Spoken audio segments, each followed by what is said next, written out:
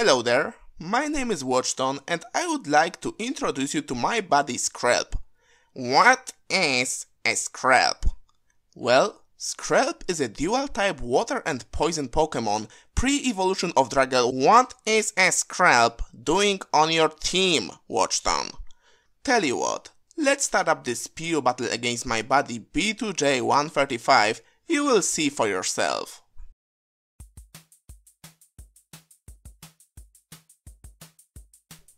I lead with George Bush to set up my rocks right away, but Brian is not so keen on letting that happen and counter leads me with his Rotom. I switch to specially defensive Flanders Scarlet to take a Blizzard, but it still does quite a bit, telling me that he is running specs, making it that much more threatening to my team. I go for a Will-O-Wisp predicting a Whiscash, but he makes a better switch and goes to his Torkoal, knowing that it can sponge anything I would throw at it. Here is where Skrelp comes in. It comes in on defensive things, goes for adaptability and choice specs boosted stab move, and doesn't do a single HP damage to incoming Shedinja. Tough luck, we will try again later. So I go to Wigglytuff because it's immune to Shadow Sneak and resists X-Scissor, so it's the best answer I have for this thing. He however goes for a Will-O-Wisp and misses, but I wouldn't really mind it that much since this is an Assault Vest all-out attacker as he gets to find out right now when his Roselia takes half on the switch from Flamethrower. Right here, I decided to stay in, knowing that I can sponge a Sludge Bomb, but again, he makes a better play and puts me to sleep instead, which will come into play later on.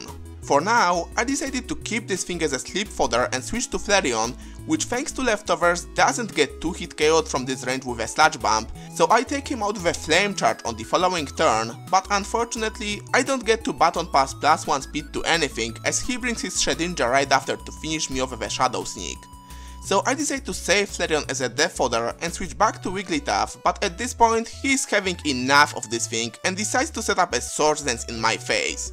He then gets up to plus 4, but thankfully I wake up on the same turn and breaks his sash with a flamethrower. What I didn't expect is that I'm going to straight up die on the following turn to a resisted X-Scissor, but that's because I keep overestimating Wigglytuff's bulk, when in reality there really is nothing to overestimate. This thing might have a lot of HP, but paired with its pitiful defenses, it's about as bulky as a balloon. And it just got popped. So now, things are really not looking good. My Rotom doesn't even have HP Fire, all I can do is trick him a Choice Scarf, so I really thought that it's over right here, because the only remaining thing that can even hit a Shedinja is a Skrelp, which will easily get one hit KO'd before that happens. So I was just about to forfeit when a good guy Brian decided to talk to me and the conversation went like this. Doesn't your Fraxure have Mold Breaker? Yeah, so? Why don't you bring it in then? Wait, what does Mold Breaker do exactly? Don't worry about it, just bring Fraxure and click Outrage. And that guys is how I learned about Mold Breaker. Somehow we are still in the game. Well, not really because his Rotom can annihilate me with a Specs Blizzard at any point, but it's better than getting body backed by a Shedinja. However, of all the things he decides to bring his Whiscash, I guess afraid of my Skrelp, which doesn't even outspeed him. So instead, I go to my Torterra and set up my late game rocks, pretty sure that it's just a regular Dragon Dance set and that he isn't going straight to his Rotom afraid of my Wood Hammer. Indeed, he decides to go for a bounce instead just to do some damage to me, but I recover it off immediately with a synthesis. Then he goes for a Dragon Dance, probably predicting another synthesis, but now I go for a Wood Hammer, which easily takes out this thing, but then he brings his Rotom to finish the game with a Specs Blizzard. But this is where things start to get interesting.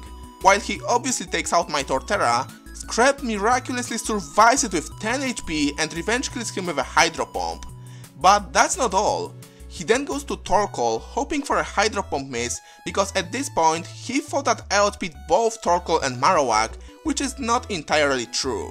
I only outspeed the Torkoal, because it's a damn turtle, take it out of another Hydro Pump, but now fun games are over, Marowak wins him the game.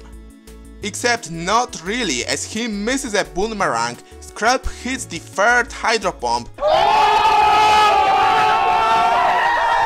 Now, if that isn't a clutch comeback, then I don't know what is. So to answer your question, What is a Skrelp doing on my team? That. Pretty much that. Believe in Skrelp, who believes in you. Good game, Brian. I bet now you wish you didn't tell me about Moldbreaker, but would have thought that a Skrelp is going to turn this game around and pull a victory out of nowhere? Certainly neither one of us, but it sure made for a good show. So I hope you guys enjoyed it. I might be able to squeeze one more battle this month, but I don't want to make any promises, so whether it's in this or the new year, I see you all next time.